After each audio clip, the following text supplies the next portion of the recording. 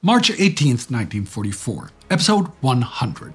Tens of millions are dead. The world is broken. The global economy has gone off a cliff. Everyone is exhausted. You might think that by now things would be slowing down. You would be wrong, because this is 1944, the bloodiest year of the war.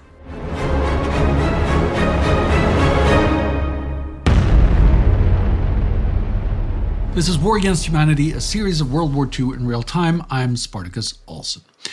I'm back after a much needed couple of weeks break. Here's what happened while I was away. In Poland, the Home Army's ongoing armed uprising, Akcja Burza, Operation Tempest continues. There are multiple attacks on German troops every day. They blow up trains, tracks, attack transports, police stations, even fighting outright battles in towns dominated by the German occupying forces.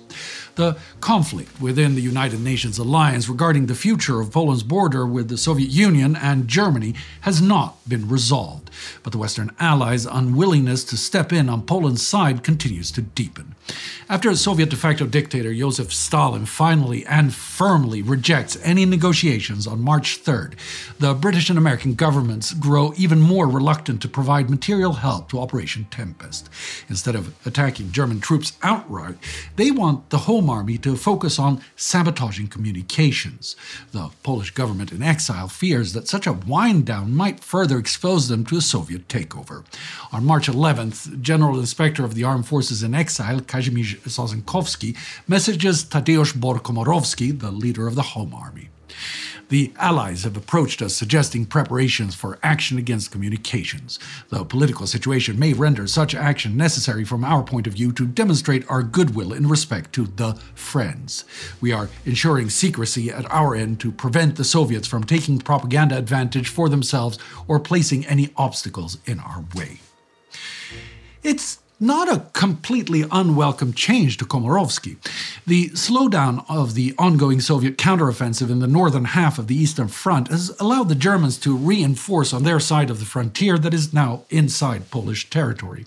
By the second week of March, Komorowski has to reduce his attacks anyway.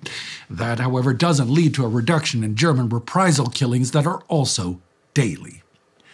The worst massacres are on February 27th at the Auschwitz concentration and extermination camp when 163 Polish resistance members are murdered in the gas chambers, on February 28th when German aligned forces murder up to 1,200 civilians in Huta Pieniacka, and on March 12th when German troops aided by Ukrainian nationalists burned the village of Plikorov near Lvov, killing 385 people.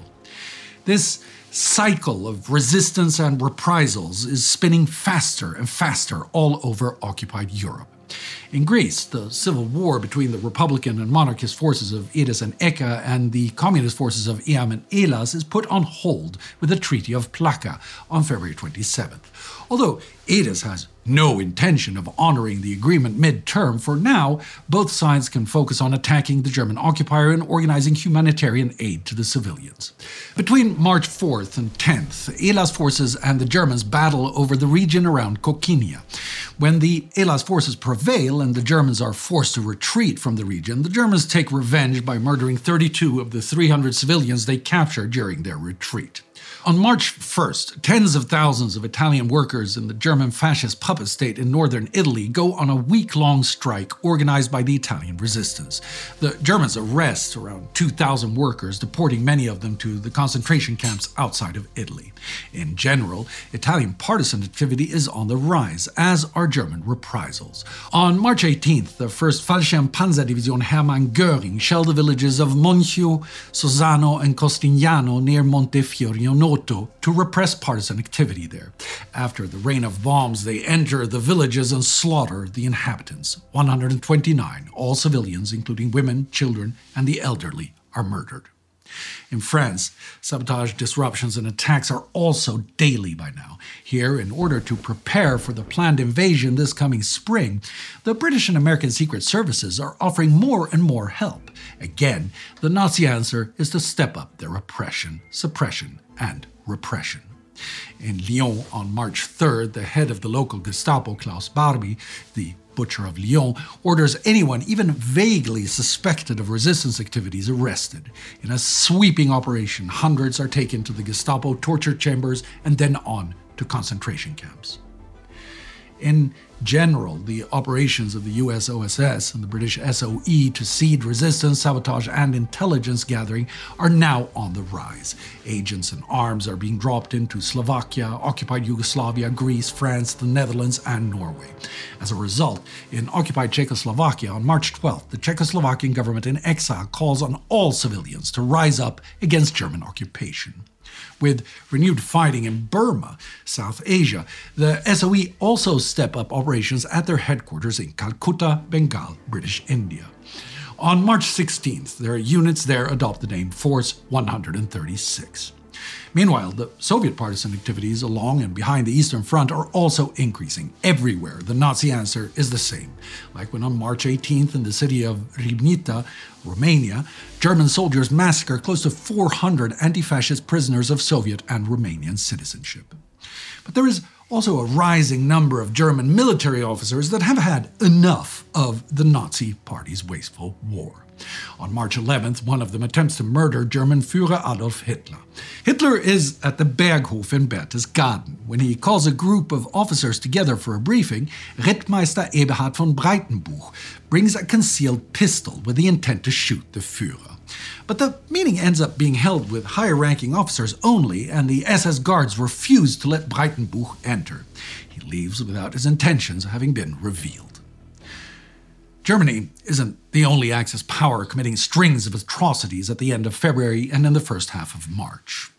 The Western Allies' advance on or past several islands in the Pacific is forcing the Japanese army to abandon their positions.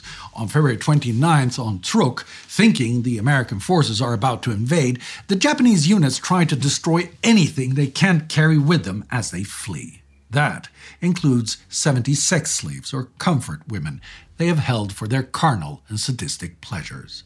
Instead of bringing them or just abandoning them, the Japanese line them up and murder them by machine gun. Five days later, in occupied Rabaul, on the island of New Britain in the territory of New Guinea, 31 prisoners of war are led out of their cells. What happens next is a mystery.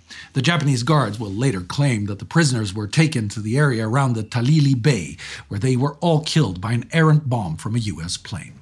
That story fails to add up on account of no planes flying in that area in this period. A more likely but unproven version of events is that anticipating an invasion, the POW are massacred. If the Japanese are indeed expecting an invasion of Rabaul. They are mistaken. The Allies have decided to isolate and bypass the port, but they will neutralize it from the air. By March 10th, the US and the Japanese both estimate that 60% of Rabaul is now destroyed which, since almost every civilian is long evacuated, is the destruction of a purely military target. Things look different in many parts of Europe. The desperate bombing campaigns continue and have still not brought any decisive victory on either side. The cost in human lives mounts and mounts.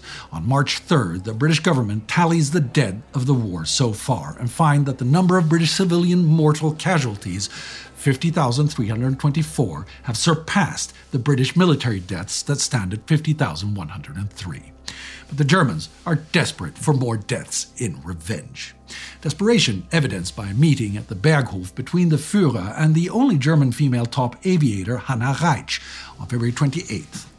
Operation Steinbock to retaliate on the British has by now largely failed, although some sorties are still being flown with little effect. One of the many issues is the total lack of accuracy. Reitsch, in what I would imagine is a dizzying rush of Nazi ideological fervor and zest, suggests to Hitler that specially designed versions of the V 1 flying bomb should be created. A piloted version, so a suicide squad, and Miss Reitsch wants to be one of the pilots. Hitler isn't impressed by the idea, perhaps because his V weapons, the Vergeltungswaffe 1 und 2, without pilots even, aren't ready to be deployed yet, despite the tens of thousands of slaves being worked to death to complete them. The rain of bombs in these weeks are instead still from conventional bombs. The U.S. Army Air Force continues the present strategy of trying to knock out German aeronautical industry, but continues to mostly hit other things civilians and losing dozens of planes and air crews.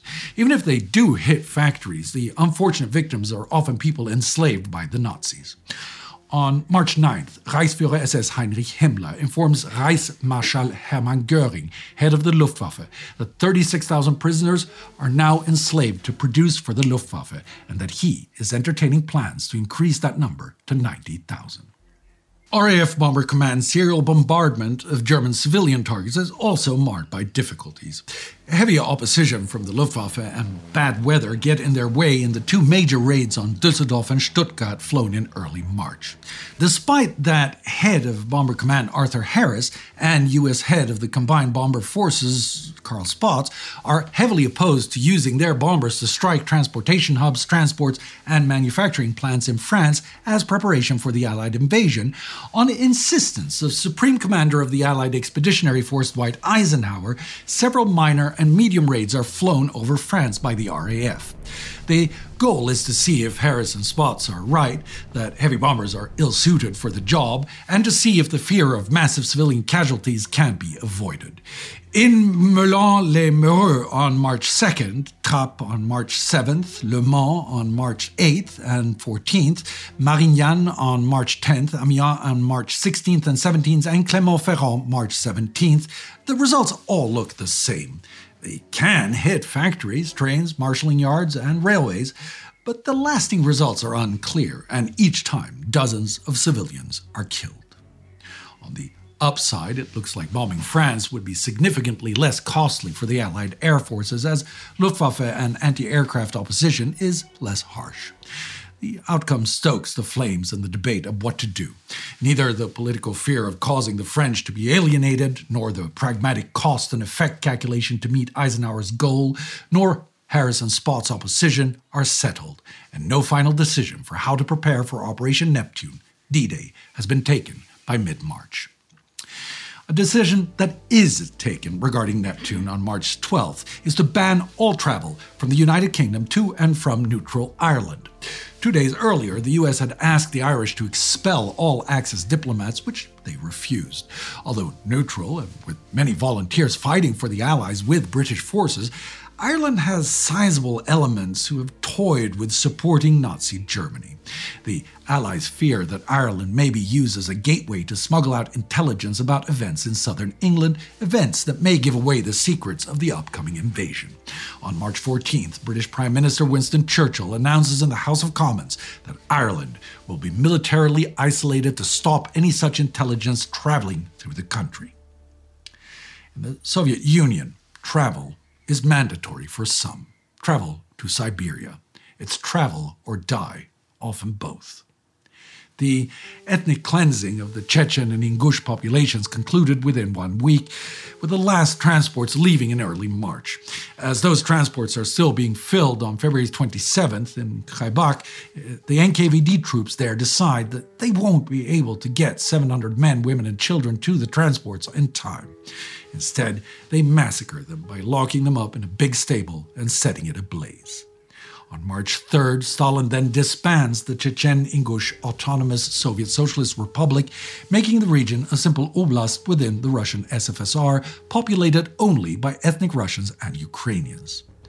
The next day, the orchestrator of the events, head of the NKVD, Lavrenti Beria, is awarded the Order of Suvorov First Class. The newly decorated comrade already has his next ethnic cleansing project in preparation. On March 8th and 9th, he has all Balkars in the Caucasus region of Russia rounded up. In all, 14 trains bring 37,713 men, women, and children to the inhospitable lands further east in Russia. Like so many times before, many will die on the journey, and more will die from exposure, starvation, disease, and exhaustion after they arrive in their barren new homelands. For them, there is no escape. In Germany, some POW do try to escape. In fact, quite a few Allied POW have managed to break away from their German captors. Now, Trying to escape or escaping is pretty much expected from a prisoner of war. Accordingly, international law dictates that even repeated escape attempts shall only be punished by disciplinary actions. Himmler doesn't agree. On March 2nd, he decrees that all recaptured escapees shall be sent to Mauthausen concentration camp to be executed on arrival, with their remains destroyed in the camp crematorium. The very next day, a transport of 1,390 prisoners, mostly Latvians and Russians, is sent from Stutthof concentration camp to Mauthausen. Several of them meet Himmler's ordered fate, and of the survivors, many, most, will not survive the camp. On March 7th, Himmler tightens his orders by dictating that no one shall be released from Mauthausen, not ever. His boss, Herr Hitler, issues orders of far greater magnitude five days later. On March 12th, he orders the occupation of Axis allied Hungary. You can see in these episodes for how these events unfold. The occupation that begins on March 18th spells doom for 750,000 Jewish Hungarians who have so far been spared from Nazi genocide. That doom is already being wrought down on people of Jewish ethnicity and the other recently occupied Axis nation, Italy. On March 3rd, the German security police in Italy requests the Italians to assist in the enlargement of the Fossoli transit camp since the number of people held is constantly rising as arrests ramp up. The Italians agree to support in the construction work. But Four days later, the German occupiers arrest elderly people in Jewish hospices in and around Turin. And the Nazis have also used their bizarrely obtuse definitions of who is of what ethnicity to arrest family members of non Jewish Italian families. People the Nazis considered Jewish anyway because of ancestry. Now, Going after the elderly and people in their own families are not popular moves with the Italian people. So, the same day as the hospice arrest, the Italian fascist puppet government issues an order that people over 70 and people of mixed ethnic heritage shall not be arrested, an order the Nazis will willfully ignore. On March 1st, another potential path for escaping European Jews trying to avoid this fate is restricted when British High Commissioner in Jerusalem, Sir Harold MacMichael, announces that the current quota of 75,000 Jewish immigrants will not be increased. When the current quota expires on March 31st, there is no plan for further openings for immigrants. Inside occupied territory trying to help Jewish fellow human beings is becoming increasingly dangerous. Like in Poland, when 38 Jews hiding together in a location in Warsaw are discovered and arrested. The six Polish non Jews sheltering them are also arrested. Among the arrested is historian and chronicler of the Warsaw Ghetto, Emanuel Ringelblum, and his family. Both non Jews and Jews are taken to the ruins of the Warsaw Ghetto and murdered within days of their capture. The systematic industrial scale murder continues at Auschwitz. Between February 27th and March 18th, two large transports arrive, one from the Netherlands and one from France. 445 adults and teenagers are enslaved in the camp. 1,788 men, women, and children are murdered in the gas chambers. This comparatively low amount of new victims arriving in this time period is, however, not a slowdown of the murder rate. The Nazis are simply busy with one specific mass murder. For years, the Theresienstadt ghetto in occupied Czechoslovakia has been used as a propaganda tool to show a false, less harsh treatment of the Jews to the world. The Red Cross and foreign dignitaries have been taken to the model camp, and it's close to 100,000 inhabitants although far from humane, in fact, mortally inhumane. Some 33,000 people will have died there by the time it closes. The ghetto has, in comparison to other ghettos and camps, been held with a greater amount of leniency. In September last year, as the number of Jews in Eastern and Central Europe left to murder had dwindled, the SS decided that the ghetto was to be gradually liquidated and its inhabitants murdered. To not break the illusion of Theresienstadt. The deported were instructed to write letters telling their relatives and friends back in the ghetto that all was fine. A special isolated Theresienstadt family camp was set up at Auschwitz-Birkenau, quarantine camp B2B. a six month moratorium on murders of anyone from Theresienstadt was imposed by Himmler. Six months that end now in March 1944. Now, around 4,000 Jews from Theresienstadt held at Auschwitz must die to make room for the next transport in the liquidation plan. It begins with a visit by SS Obersturmbannführer Adolf Eichmann in charge of deportations on February 27th and 28th. At B2B, Dr. Leo Janowitz, the former head of the Central Secretariat in the Theresienstadt ghetto, and Freddy Hirsch, the teacher and youth leader we met in September of last year, report to him. Eichmann also talks to Miriam Edelstein. He tells her that her husband, Jakob Edelstein, the former highest elder of the ghetto in Theresienstadt, is most likely in Germany. In reality, Edelstein and his closest staff are held in the Auschwitz jail, Block 11, since December. As he departs, Eichmann is satisfied that the illusion can be maintained and the murders can proceed. The formal decision is taken on March 5th. That day, the people held in B2B are given postcards dated forward to the 25th, 26th, and 27th of March. They are instructed to write to family and friends that all is well. A rumor has been spread that they will soon all be transferred to a labor camp. That camp is rumored to be far less harsh than B2B. The transport is supposedly to happen soon. When on March 8th the transports haven't begun, the prisoners start to voice louder and louder fears that something is wrong. That morning, the IG Farben subsidiary company Degesch delivers 210 kilos of Zyklon B gas pellets for which they will send an invoice to the amount of 1,050 Reichsmark. In the early part of the day, Freddy Hirsch finds out about the murder plan. To silence him, he is isolated in the camp hospital. Unable to face the coming events, he commits suicide. The camp leader of Auschwitz II, Birkenau, who is responsible for the smooth implementation of the action, calls the SS camp doctor, SS Hauptsturmführer Dr. Heinz Thilo, for help. He sends in one of his doctors with some nurses and a random collection of medicines and medical instruments. They make rounds through the barracks, examining the inmates and inquiring about their health. This visit reassures the people waiting for their transport. The course of the visit, 70 identical twins are singled out and transferred to quarantine camp B2A. They are to bypass the gas chambers and instead be subject to human experimentation by Dr. Josef Mengele. The prisoners are now told to pack any belongings they have been able to hold on to. They will be allowed to bring them to their new location. At 8 p.m., a camp curfew is put in place. A larger number of SS men and the political department arrive at B2B with capos and block supervisors they know they can trust. Half an SS company with dogs surround the camp. Around 10 p.m., 12 trucks covered with tarpaulins arrive up. The Jews are asked to leave the heavy luggage in the barracks and promised it will be taken to the train. In order to preserve the external appearance and tranquility, each canopy flatbed is loaded with no more than 40 people each time. As they drive off, the trucks do not turn left towards the crematoria, but make a right turn, giving the impression that they are driving to the station. Then they take several detours through the camp complex, confusing their human cargo as to their destination. First, the men are taken to crematorium 3, then the women and children to crematorium 2. The transports take several hours. Around 2 a.m., the waiting victims become restless, and in one of the blocks, they begin to sing a Czech folk song. In the next block, the singing catches on.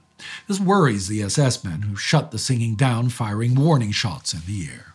They threaten to cancel the transports if the singing resumes. When the victims arrive at the crematoria, they have been set up to maintain the illusion that they are about to go to the trains. Only when they are ordered to undress do they realize what is about to happen. Then they are soon alone with the Sonderkommando, the Jewish forced handlers of the gas chambers and crematoria. In defiance, the walking dead sing the Jewish anthem, the Hatikva, the Czechoslovak national anthem, folk songs, and the international.